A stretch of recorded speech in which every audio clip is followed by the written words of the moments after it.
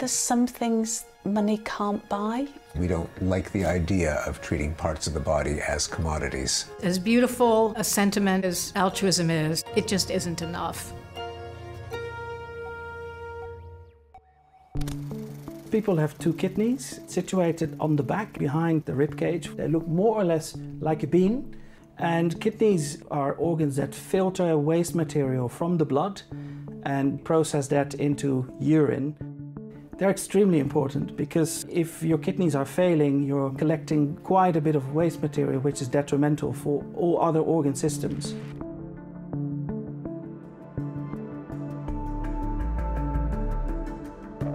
A typical dialysis patient has a poorer life expectancy than many cancers. After decades of experimenting in 1954, it was the first successful human transplant which revolutionized the field.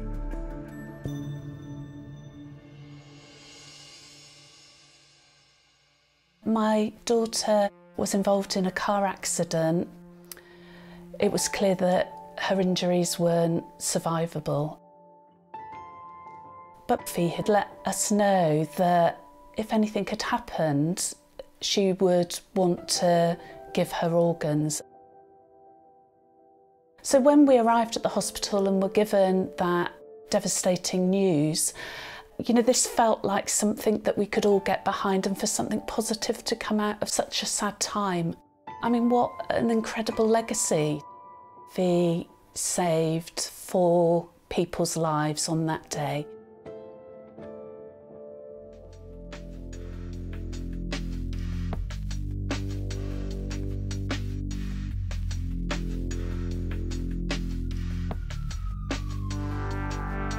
In 2006, I went for a regular checkup and I felt fine, but the blood work that I got showed that my kidneys were in very, very bad shape.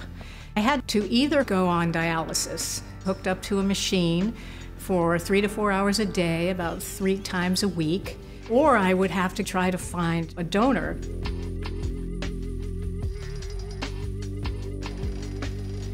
Lots of people still don't know that many people could actually donate a kidney. Removing one kidney should not affect someone's lifespan and also should not affect someone's life quality. A kidney from a living donor in general will have a much better quality because it comes from a healthy and tested person. Kidneys are expected to survive up to twice as long on average in a recipient.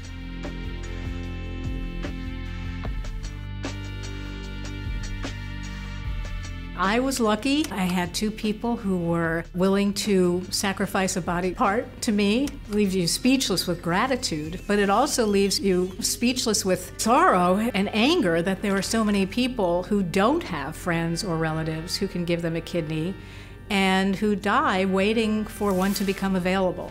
So that's how I became very interested in our organ transplant system and how we should change it. No one needs two kidneys, and there are many desperate people who need one.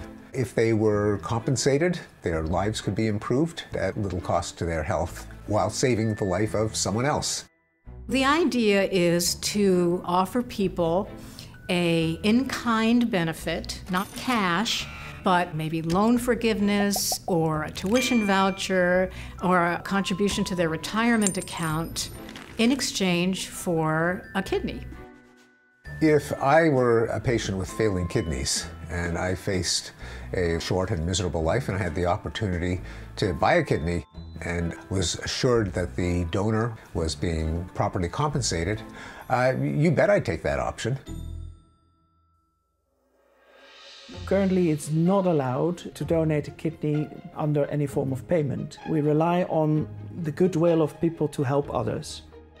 It's not the wealthy who would be wanting to sell their organs. It's people who are on the poverty line in very desperate situations and those people are also the most vulnerable people in terms of poor health in later life.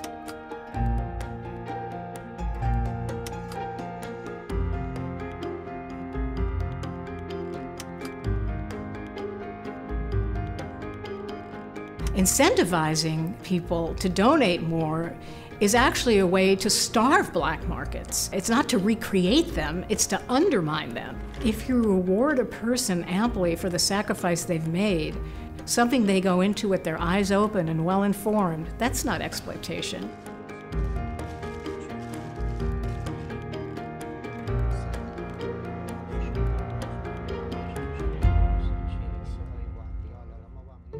One really knows what will happen if you start doing this.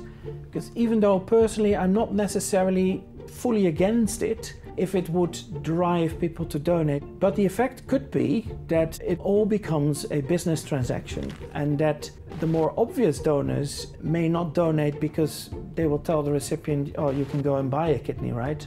It might actually reduce the number of people that want to donate because they don't want to be involved in such a scheme. All of a sudden, transplantation becomes a thing that you can organize as long as you can pay for it.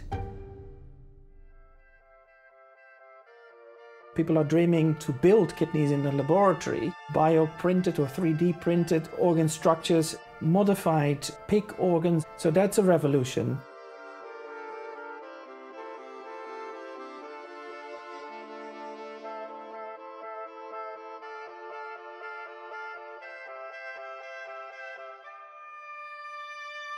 This is the only way to solve the problem. It's so much needless death. It feels like an incredible gift, and I don't know how that gift can be quantified.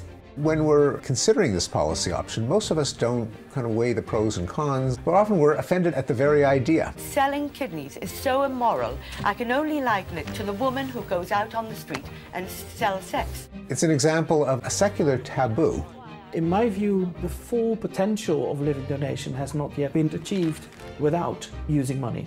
Why are we not maximising deceased donation? We don't talk about our wishes. Research shows that most people would agree after death to organ donation, yet we leave our loved ones wondering. Ideally, we could change the law. But I would advocate that anyone consider donating no matter what, because, say, dragging someone out of a burning building or pulling them out of a frozen lake, where else could you save someone's life so palpably as this? Thanks for watching. If you enjoyed that, be sure to check out these videos next. And if you haven't already, hit the subscribe button and click the bell to get a notification each time we upload a new video.